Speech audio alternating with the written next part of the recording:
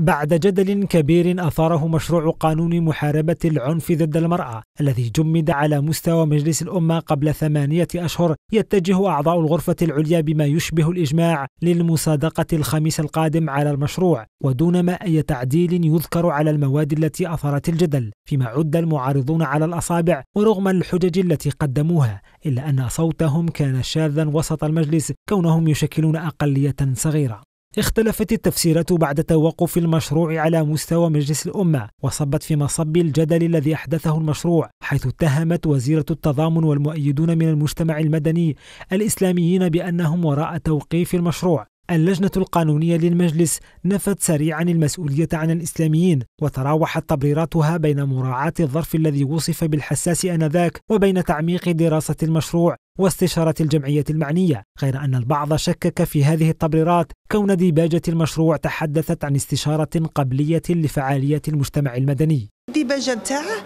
واش يقول؟ يقول بعد استشارة آه لمختلف الفئات والجمعيات وهذا. آه، أنا أظن لم تكن هناك استشارة لهذه الفئات وهذه الجمعيات.